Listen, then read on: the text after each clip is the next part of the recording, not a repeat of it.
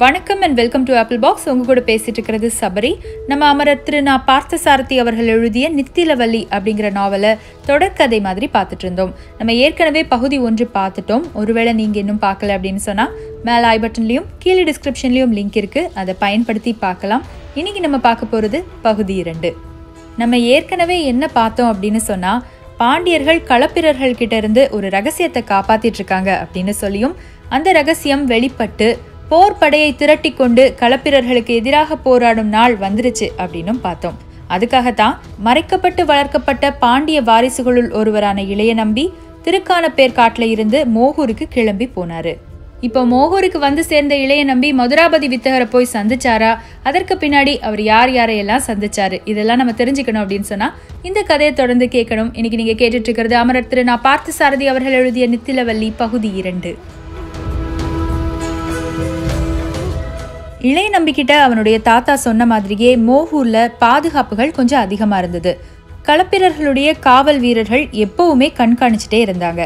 அவங்க கிட்ட போய் தான் ஒரு வழிபோக்கன் அப்படின்னும் அந்த இரவு இந்த ஊர்ல தங்குறதுக்காக வந்திருக்கிறதாகவும் சொன்னான் இளைய நம்பி.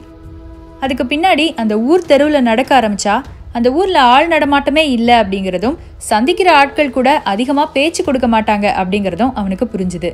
அதையும் மீறி அவன் ஒரு சிலர்கிட்ட போய் மதுராபதி வித்தகர் எங்க இருக்கிறாரு? அப்படின்னு கேட்க சொல்ல வேண்டியதை சொல்லிட்டு கிளம்பு அப்படின்னு மூஞ்சில் அடிச்சாப்புல சொல்றாங்க. யாரையுமே தெரியாத ஒரு ஊருக்கு வந்துட்டு இந்த மாதிரி விசித்திரமா பேசுற மக்கள் எல்லாம் பார்த்ததும் இளைய நம்பிக்கை கொஞ்சம் கோபமே வந்துருச்சு. கோபத்தோடையே தன்னையும் அறியாம கால் போன போக்குல நடக்க ஆரம்பிச்சான். கொஞ்ச நேரத்துலலாம் பார்த்தா ஒரு கொற்றவை கோவில் வந்தது. அந்த கொற்றவை கோவிலுக்கு அவன் வந்து நின்ன உடனேயே ஒரு வித்தியாசமான வாசம் அவனுக்கு வந்தது. அந்த வாசம் வந்த திசையை நோக்கி அவன் பார்த்தப்போ பின்பக்கமாக திரும்பி ஒரு பெண் நின்றுட்டு இருந்தா சரி மற்றவங்க தான் பதில் சொல்லலை இந்த பெண் கிட்டையாவது கேட்கலாம் அப்படின்னு இளைய நம்பி நினச்சிட்டு இருக்கும்போதே அந்த பெண் இந்த பக்கமாக திரும்பி பார்த்தா அவளை பார்த்த உடனேயே அவகிட்ட தான் என்ன கேட்க வந்தோம் அப்படிங்கிறதையும் மறந்து கண் இமைக்காம அவளையே பார்த்துட்டு நின்னா இளைய நம்பி. அந்த பெண் கொஞ்சம் பக்கத்தில் வந்து அவன் முன்னாடி கையை அசைச்ச பின்னாடி தான் இளைய நம்பிக்கு சுய நினைவே வந்தது. நினைவு வந்த உடனே நேரடியாகவே அந்த பெண்கிட்ட உனக்கு மதுராபதி வித்தகரை பற்றி தெரியுமா? அப்படின்னு கேட்டான் இளைய நம்பி. அந்த பெண்ணோ இடக்கு முடக்கா நிறைய கேள்வி கேட்டா இளைய நம்பியும் ஒன்றும் சாதாரண ஆள் கிடையாது. அது எல்லாத்துக்கும் பதில் சொல்லி அந்த பெண்ணையே மடக்கினான். அதுக்கப்புறம் அந்த பெண் நீ எப்படி மதுராபதி வித்தகரை பத்தி கேள்வி கேட்குறியோ அதே மாதிரி தான் களப்பிரர்களும் ஒரு கூட்டத்தை ஏற்பாடு பண்ணி அவங்களும் தமிழெல்லாம் கத்துக்கிட்டு இதே மாதிரி கேள்வி கேட்டுட்டு அலைஞ்சிட்டு இருக்கிறாங்க அதனாலதான் நீ ஒருவேளை களப்பிரரா இருப்பையோ? அப்படிங்கிற சந்தேகத்துல உன்கிட்ட நான் நிறைய கேள்வி கேட்டேன். என்னதான் மொழியை கற்றுக்கிட்டாலும் இந்த மாதிரியான இடக்கு முடக்கான கேள்விகளுக்கெல்லாம் எல்லாராலையும் பதில் சொல்ல முடியாது. அதனால உன் மேலே எனக்கு நம்பிக்கை இருக்கு அப்படின்னு சொல்லி ஒரு ரகசிய குறியீடு வார்த்தையை இளைய நம்பிக்கை சொல்லி கொடுக்குறா அந்த பெண். அந்த பெண்ணுடைய அறிவை பார்த்து வியந்தபடியே தனக்கு உதவி செய்ததற்காக நன்றியும் சொல்லிட்டு அந்த இடத்துல இருந்து கிளம்புனா இளைய நம்பி. இப்போ அடுத்ததா இளைய நம்பி தான் சந்திக்கிற ஒவ்வொருத்தர்கிட்டையும் இந்த ரகசிய குறியீடு வார்த்தையை சொல்லி மதுராபதி வித்தகர் எங்க இருக்கிறாரு? அப்படின்னு கேட்டான் அவங்களும் ஒரேடியா அவர் இருக்கிற இடத்தெல்லாம் சொல்லல. கொஞ்சம் கொஞ்சமா தான் அந்த பாதையை சொன்னாங்க. ஒவ்வொரு பாதைக்கும் போன பின்னாடி இன்னொரு நபர்கிட்ட அதே மாதிரி வழி கேட்பான் அவங்களும் சொல்லி கொடுப்பாங்க. கடைசியா ஒரு பெரிய காட்டுப்பாதை வந்தது. அந்த காட்டுப்பாதையில ஒரு குறிப்பிட்ட தூரம் அவன் நடந்த பின்னாடி ரெண்டு பக்கமும் காவலர்கள் நின்னுட்டு இருந்தாங்க. திடீர்னு ஒரு வேற்று மனிதன் தங்களுடைய வனத்துக்குள்ள வரவும் அந்த காவலர்கள் எல்லாம் இவனை தாக்க வந்தாங்க. ஆனா இவன் அந்த குறியீடு வார்த்தைகளை சொன்ன அடுத்த கணமே மரியாதையோட அவனை உள்ளேயும் கூட்டிட்டு போனாங்க. கொஞ்ச தூரம் நடந்து போன பின்னாடி அந்த ஆலமரத்துக்கு கீழே துறவி மாதிரி வயதான ஒருவர் உட்கார்ந்துட்டு இருந்தாரு அந்த வயதானவரை பார்த்து கையை காட்டி ஒரு காவலாளி சொன்னான் இவர்தான் மதுராபதி வித்தகர் அப்படின்னு. எத்தனையோ முறை தன்னுடைய தாத்தா மூலமா மதுராபதி வித்தகர் அப்படிங்கிற பேரை கேட்டிருந்த போதிலும் இதுவரைக்கும் இளைய நம்பி அவரை பார்த்ததில்ல. இன்னைக்கு தான் முதல் முறையா அவரை பார்க்கறான்.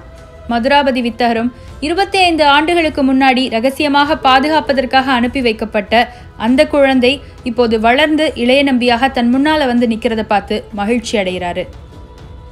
இப்போ அடுத்ததா நான் என்ன செய்யணும் அப்படின்னு கேட்டான் இளைய நம்பி.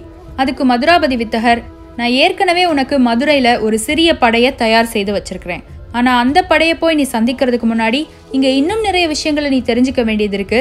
அதை உனக்கு தெரிஞ்சுக்கிறதுக்கான ஏற்பாடுகளையும் நானே செய்து வச்சிருக்கிறேன். ஒவ்வொரு கட்டத்துல ஒவ்வொரு நபர் உனக்கு உதவி செய்வாங்க அப்படின்னு சொல்லிட்டு இளைய நம்பிக்கை ஆசி வழங்குறாரு. அதோட சேர்த்து அவனுடைய தோல்ல இருக்கிற அந்த சங்கு முத்திரையை பத்தி யார்கிட்டையும் பேசக்கூடாது அப்படின்னும் யாராவது கேள்வி கேட்டாங்க அப்படின்னா அவங்க கிட்ட இருந்து எச்சரிக்கையா இருக்கணும் அப்படின்னும் சொல்றாரு. பேசி முடிச்ச பின்னாடி மதுராபதி வித்தகர் தனக்கு எதிர்த்தாப்புல இருந்த பாதையை பார்க்க அந்த பாதை வழியாக இன்னொரு நபர் நடந்து வந்துட்டு இருந்தாரு. அந்த நபருடைய பெயர் தான் பெரிய காராளர். இந்த பெரிய காராளர் அப்படிங்கிறவர் ஒரு சத்திரம் நடத்தி வந்தார். அந்த சத்திரத்தில் தான் அந்த இரவு இளைய நம்பி தங்குவதற்கான ஏற்பாடுகள் செய்யப்பட்டிருந்தது. நான் ஏற்கனவே சொன்னேன் களப்பிரர்கள் ஒரு சட்டம் போட்டிருந்தாங்க. அந்த சட்டத்தின்படி வெளியே இருந்து யாரும் உள்ள வரவும் கூடாது உள்ளிருந்து யாரும் வெளியே போகவும் கூடாது. அப்படி இருக்கும்போது இளைய நம்பியோ அல்லது பாண்டிய நாட்டின் ஆபத்துதவிகளோ எப்படி இந்த ஊருக்கு வந்துட்டு போக முடியும்? அதுக்காகத்தான் இந்த சத்திரம் அப்படிங்கிற நாடகம். இந்த பெரிய காராளர் அப்படிங்கிறவரு தான் களப்பிரர்களுடைய பக்கமாக இருப்பதாக நடித்து அவங்களுக்கு நிறைய லஞ்சம் கொடுத்து ஒரு சத்திரம் நடத்துவதற்கான அனுமதியை வாங்கியிருப்பாரு. அந்த சத்திரத்தை தான் வழிப்போக்கர்கள் மாதிரியே வந்து போகிற பாண்டிய நாட்டு ஆபத்துதவிகள் எல்லாருமே பயன்படுத்திட்டு வந்தாங்க. இப்போ அடுத்ததா அங்க இருந்து இளைய நம்பியை கூப்பிட்டுக்கிட்டு பெரிய காராளர் தன்னுடைய சத்திரத்துக்கு போறாரு. பெரிய காராளருடைய சத்திர அமைப்பு எப்படி இருக்கும் அப்படின்னு பார்த்தீங்கன்னா வெளியே பெருசா ஒரு பந்தல் இருக்கும். அந்த பந்தலில் தான் எல்லாரும் உட்காந்து சாப்பிடுவாங்க தண்ணி குடிப்பாங்க எல்லாமே. இதுக்கு அடுத்ததாக வழிப்போக்கர்கள் தங்கிக் கொள்வதற்கான சத்திரம் இருக்கும். அந்த சத்திரத்தில் தான் எல்லாரும் படுத்து தூங்குவாங்க. இதுக்கு அடுத்ததாக தான் அவருடைய வீட்டின் முற்றமும் அந்த முற்றத்துக்கு பின்னாடி அவருடைய வீடும் இருக்கும். மற்ற வழிபோக்கர்களாக இருந்தால் வெளியே தங்க வச்சிடலாம் ஆனால் வந்திருக்கிறது பாண்டிய நாட்டின் வாரிசாச்சே வெளியே தங்க வைக்க முடியுமா? அதனால தன்னுடைய வீட்டுக்குள்ளே கூட்டிகிட்டு போனார். இது எல்லாத்துக்கும் மேலே இளைய நம்பிக்கை ஆரத்தி எடுக்கிறதுக்கு கூட அவர் ஏற்பாடு செய்திருந்தார்.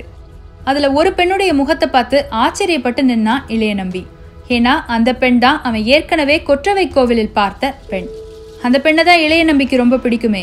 இந்த முறை இளைய நம்பி எடக்கு முடக்கா கேள்வி கேட்க அந்த பெண் அது எல்லாத்துக்கும் சரிக்கு சமமாக பதில் சொன்னா. ஆனால் அந்த இடத்துல பெரிய காராளர் இளைய நம்பிக்கிட்ட அப்படிலாம் பேசக்கூடாது அப்படின்னு சொல்லி அந்த பெண்ணை எச்சரிச்சிட்டு அப்போதான் முதல் முறையாக அந்த பெண்ணுடைய பெயரையும் சொன்னார். அந்த பெண்ணுடைய பெயர் செல்வ பூங்கோதை. இளைய நம்பிக்கு இன்னும் கொஞ்ச நேரம் பூங்கோதை கூட பேசிட்டு இருந்தா கூட நல்லா தான் இருக்கும்னு தோணுச்சு. ஆனால் அடுத்த நாள் காலையில் கொஞ்சம் சீக்கிரம் எழும்ப வேண்டியது இருந்ததுனால தனக்குன்னு ஒதுக்கப்பட்ட அந்த அறைக்கு அவன் உறங்க போனான் அடுத்த நாள் காலையில் கொஞ்சம் சீக்கிரமாகவே எழுந்திருச்சான் இளைய நம்பி. அப்போதான் தனக்கு பக்கத்தில் இருந்த அறையில் பெரிய காராளரும் அவரோடு சேர்ந்து இன்னும் மூணு பேரும் ரொம்ப முக்கியமான ஏதோ ஒரு விஷயத்தை பற்றி பேசிகிட்டு இருக்கிறத அவனால் பார்க்க முடிஞ்சுது. அங்கே நிற்கிற மூணு பேரில் ஒருத்தனுடைய பெயர் யானைப்பாகன் அந்துகன். இந்த அந்துகன் தான் இப்போ அடுத்ததா இளைய நம்பி எங்கே போகணுமோ அங்கே இளைய நம்பியை கூட்டிகிட்டு போகணும் ஆனால் இப்போ போகிற பாதையில் தான் ஒரு பெரிய பிரச்சனை. முந்தின நாள் ஏதோ ஒரு கலகம் நடந்து வேறு நாட்டு ஒற்றர் யாரோ இங்கே வந்திருக்கிறாங்க அப்படிங்கிற சந்தேகத்தினால இன்னும் அதிகமாக பாதுகாப்பு ஏற்பாடுகள் பண்ணி வச்சுருந்தாங்க களப்பிரர்கள். இப்போ ஏற்கனவே இவங்க போட்ட திட்டப்படி விழாவுக்கு வந்த மக்களோடு மக்களாக கலந்தெல்லாம் போக முடியாது. அதே நேரத்தில் இந்த நாளை தவற விட்டா இன்னொரு நாளும் கிடைக்காது. களப்பிரர்கள் இளைய நம்பியை பார்த்து அவன் மேல எதுவும் சந்தேகம் வர்றதுக்கு முன்னாடி அவனை எப்படியாவது பாதுகாப்பான இடத்துக்கு அனுப்பி வச்சிடணுமே அப்படின்னு அங்க இருந்த எல்லாரும் பதட்டத்தோட நின்னுட்டு இருக்கும்போது இளைய நம்பிய பத்திரமா அவன் போக வேண்டிய இடத்துல கொண்டு போய் சேர்க்க என்னால முடியும் அப்படின்னு அங்க வந்து நின்னா பூங்கோதை. அப்படி பூங்கோதை சொன்ன திட்டம் என்ன? உண்மையாவே அவளுடைய திட்டத்தின்படி அவங்கள பத்திரமா இன்னொரு இடத்துக்கு கொண்டு போய் விட்டாளா அப்படின்னு தெரிஞ்சுக்கணும் அப்படின்னு சொன்னா நம்ம இந்த கதையை தொடர்ந்து கேட்கணும். கேட்கலாம். உங்களுக்கு ஒருவேளை போர் அடிச்சது அப்படின்னு சொன்னால் ஒரு சின்ன பிரேக் எடுத்துட்டு இந்த கதையை தொடர்ந்து கேளுங்க. பூங்கோதை சொன்ன யோசனை என்ன அப்படின்னு சொன்னால் நான் ஏற்கனவே ஆயிரத்தி எட்டு தாமரை மலர்களை வச்சு இறைவனுக்கு அர்ச்சனை செய்கிறதாக வேண்டியிருந்தேன். அந்த தாமரை மலர்களை எல்லாம் ஏற்றிச் செல்வதற்காக இரண்டு வண்டிகளையும் ஏற்பாடு செய்து அனுமதியும் வாங்கி வச்சிருந்தேன். இப்போ அந்த இரண்டுக்கு பதில் நம்ம அதை மூன்று வண்டியா மாத்துவோம். மூன்றாவது வண்டியில அந்துகனையும் இளைய நம்பியையும் உட்கார வச்சு அவங்க மேலே இந்த தாமரை மலர்களை கொட்டி அவங்கள மறைச்சு அந்த வண்டியையும் நம்ம எடுத்துட்டு போகலாம் சோதனை போட்டாங்க அப்படின்னா கூட முதல் இரண்டு வண்டிகள்லையும் எந்த சந்தேகமும் இல்லாததுனால மூன்றாவது வண்டியை விட்டுறதுக்கான வாய்ப்புகள் கூட இருக்கு அப்படின்னு சொல்லி அவங்க ரெண்டு பேரையும் அந்த வண்டியில உட்கார வச்சு தாமரை மலர்களை அவங்க மேல கொட்டி அந்த வண்டிகள் புறப்பட்டன. இப்போ ஒரு அழகான ஆற்றுப்பாதை வழியாக அந்த வண்டிகள் எல்லாம் போயிட்டு இருக்கு. அந்த வண்டிகள் குலுங்க குலுங்க அதுல இருக்கிற தாமரை மலர்களும் குலுங்குது. அது பாக்குறதுக்கே ரொம்ப அழகா இருக்கு. இப்படி போயிட்டு போதே களப்பிரர்களுடைய காவலர்கள் அந்த வண்டியை நிறுத்தி சோதனையும் போடுறாங்க. ஆனா அதையும் மீறி தன்னுடைய வாய் சாமர்த்தியத்தினால அவங்கள அந்த பாதையை கடந்து இன்னொரு பக்கத்துல கொண்டு போய் விடுறா செல்வ பூங்கோதை.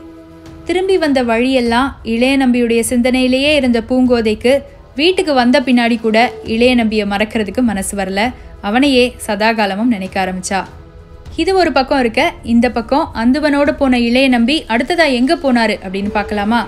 இப்போ கோட்டைக்கு பக்கத்தில் அந்துவனும் இளைய நம்பியும் வந்துட்டாங்க. மற்ற இடத்த மாதிரி இல்லை கோட்டைக்கு பக்கத்தில் ஆள் நடமாட்டம் கொஞ்சம் அதிகமாகவே இருந்தது. அதுவும் அது ஒரு விழா நாள் அப்படிங்கிறதுனால கொஞ்சம் இன்னுமே அதிகமாக இருந்தது. அந்த கூட்டத்துக்கு நடுவில் இளைய நம்பியை போய் விட்ட பின்னாடி இதோட என்னோட வேலை முடிஞ்சது. இன்னொருத்தன் வந்து உன்னை கூட்டிட்டு போவான்னு சொல்லிட்டு அந்த இடத்துல இருந்து கிளம்புனா அந்துவன். அந்துவன் போன ஒரு சில நிமிடங்களிலேயே இளைய நம்பியை தேடி இன்னொருத்தன் வந்தான் ரெண்டு பேரும் ரகசிய அடையாள சொல்ல பரிமாறிக்கொள்ள அந்த நபர் நடந்த திசையிலேயே தானும் நடக்க ஆரம்பிச்சான் இளைய நம்பி. கொஞ்ச தூரம் போன பின்னாடி ஆள் நடமாட்டமே இல்லாத ஒரு பாழ் மண்டபம் வந்தது. அந்த மண்டபத்துக்கு போன உடனேயே இளைய நம்பி கூட வந்த இன்னொரு நபர் அந்த மண்டபத்துடைய தரையை காலால ஓங்கி மிதிக்க ஆரம்பிச்சான். ஒவ்வொரு இடத்தையா அவன் மிதிக்க திடீர்னு ஒரு இடத்துல மட்டும் வித்தியாசமான ஒரு சத்தம் வந்தது. அந்த குறிப்பிட்ட இடத்துல இருந்த கல்லை தன்னுடைய கைகள்னால விலக்கி அதுக்கு கீழே இருந்த சுரங்க பாதையை காட்டினான் அந்த நபர்.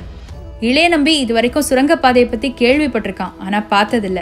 ஆச்சரியத்தோட அந்த சுரங்கப்பாதைக்குள்ளே இறங்கி நடக்கவும் ஆரம்பிக்கிறான் இளைய நம்பி உள்ளே போனதும் அந்த இன்னொரு நபர் தானும் உள்ளே இறங்கிட்டு அந்த கல்லை புரட்டி அந்த இடத்த மூடிட்டு சுரங்கப்பாதை வழியாக ரெண்டு பேருமே நடக்க ஆரம்பிக்கிறாங்க. உண்மையில் இந்த சுரங்கப்பாதை அப்படிங்கிறது கதையில் கேட்குறதுக்கும் படத்தில் பார்க்கறதுக்கும் ரொம்ப அழகாக இருக்கும். ஆனால் அதன் வழியாக நடந்து போகிறது அப்படிங்கிறது ரொம்ப கடினமான ஒன்று ரொம்ப குறைவான வெளிச்சம் தான் இருக்கும் குறைவான காற்று தான் இருக்கும். வித்தியாசமான வாசனை வீசும். சின்னதான அதிர்வு ஏற்பட்டால் கூட அதன் சத்தம் ரொம்ப பெருசாக இருக்கும். அதுலேயும் பல சுரங்கப்பாதைகளில் தவறாக வரவங்க மாட்டிக்கணும் அப்படிங்கிறதுக்காக நிறைய பொறிகள் கூட வச்சுருப்பாங்க. இந்த மாதிரியான ஒரு சாதுரியமான பயங்கரமான சுரங்கப்பாதை வழியாக தான் இளைய நம்பியும் அவன் கூட வந்த அந்த நபரும் இப்போ நடந்து போயிட்டு இருக்காங்க. திடீர்னு ஒரு அதிர்வும் சத்தமும் வர அந்த சத்தம் வந்த திசையை நோக்கி திரும்பி பார்க்குறான் இளைய நம்பி.